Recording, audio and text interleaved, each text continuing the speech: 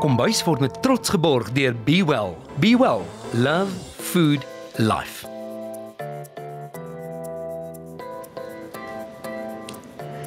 Goeiemôre julle. My naam is Isel Hofman. Ek is 'n leefstylchef en oudergewoond op die Vrydag maak ons dan altyd 'n ietsie soets. Nou, ehm um, hier aan my linkerkant, ek noem dit klein probleempie koekies. En die rede daarvoor is is as jy eers een van hulle geproe dan sit jy nogals met 'n probleem want hulle is so lekker.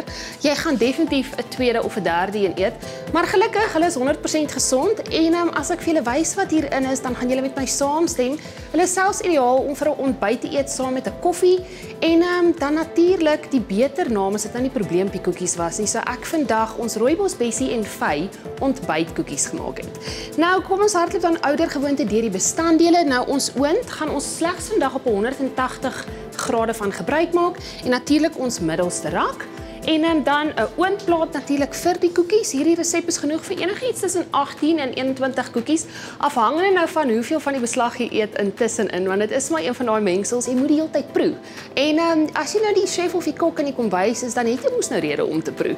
So ehm um, ja, bestanddele gewys. Nou hierdie is 'n 300 gram amandelmeel. Ehm um, julle sal sien, kyk maar uit. Ek verkies half die een wat van die ehm um, geblancheerde of die gebleikte amandels dan die wat nou sonder die skilletjie is gemaak is want um, dit gaan oor die die mooi wit kleur van die meel. Partykeer as hulle die meel fyn maak of die amandels fyn maak en die skilletjies nog aan dan net 'n klein donker stukkies in en dit gaan nou natuurlik dan die kleur van die koekies dan effens beïnvloed. Dan saam met dit gaan ons slegs van 50 gram sesamsaad gebruik maak. En um, dan hier het ons amandel um vlokkies. Nou jy kan natuurlik die sprinkels ook gebruik as die meer um tipe van 'n kort blokkierige tipe effek van dit. Hierdie is ook dan net 'n 50 gram. En dan pompoenpitte. Ek is mal oor pompoenpitte. Um hierdie kan jy ook dan as jy nie mal is oor pompoenpitte nie, kan jy hierdie 50 gram vir die pit gewys, kan jy dan altyd na jou sonneblomsaadjies toe ook verander. So julle kan sover sien, alles word letterlik net bymekaar gegooi. En dan hier het ons 'n teelepel van ons woestynsout. Probeer maar altyd met um, as jy gebak van die fyn ene gebruik maak. So ons sprinkel dit net in. En dan hierdie is 'n teelepel dan van ons kaneel. Nou as jy bietjie van die neutmuskaat ook hier wil ingooi, dan is jy altyd welkom om so 'n kwart teelepeltjie dan natuurlik ook in te sit. En dan hier aan die voorkant, hierdie is nou van die bestanddele wat jy nou kan verander. Sê net maar jy hou van eerder roosyntjies as van jou rooibosbessies. Rooibosbessies vir die wat nie weet nie, is dan nou beter bekend op die rak as ons cranberries. Hierdie is 'n 100 gram wat ons gaan bysit. En dan natuurlik ons gedroogde stukkie vy. Nou hierdie is dan ook 'n 100 gram. As jy nou nie mal is oor vy nie, kan jy hierdie dan ook natuurlik dalk met appelkoos stukkies vervang sou wil. Ek dink dit kan ook nogals lekker wees, maar dan sou ek die um die neut verander het na makadamia toe. En dan hier het ons slegs 2 teelepels vanillageursel en ons gaan van 5 eetlepels rou heuning gebruik maak. En dan ons laaste bestanddeel is natuurlik ons amandelneutbotter wat 300 gram is. Nou ek sien vir julle net nou, ek gaan so lank hier klits en te kere gaan en dan sit ons hierdie koekies aan mekaar en in die oond. Tot net nou.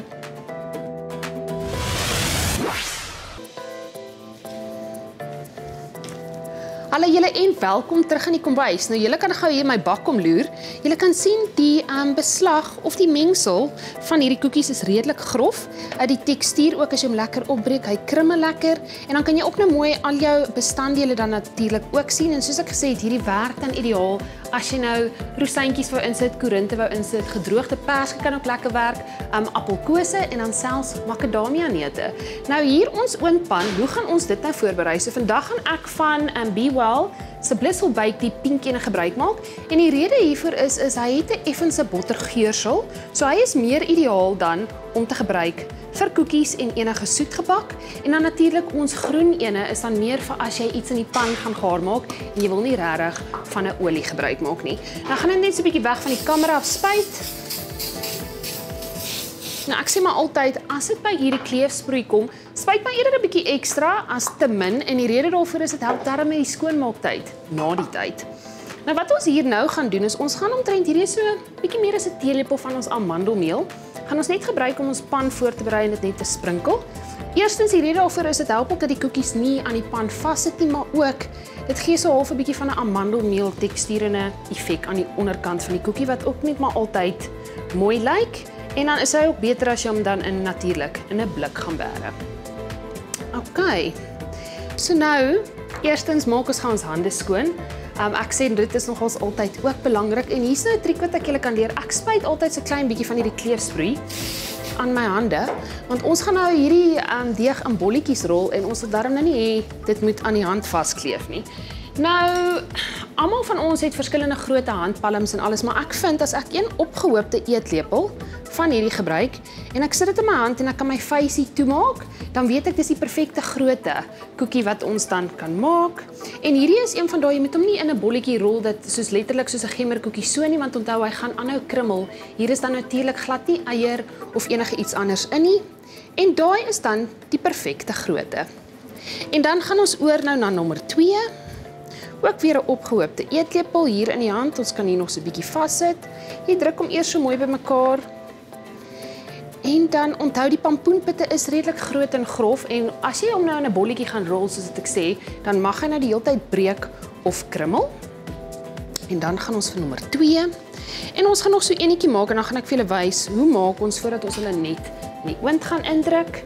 Druk hulle maar eers mooi bymekaar met die hand.